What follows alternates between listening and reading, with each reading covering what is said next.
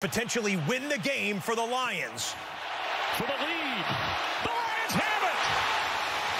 To KhaDarel Hodge. A two-point conversion. And the Lions lead by one.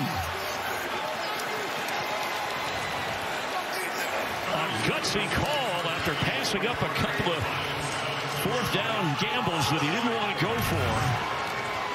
What a play. There's KhaDarel Hodge.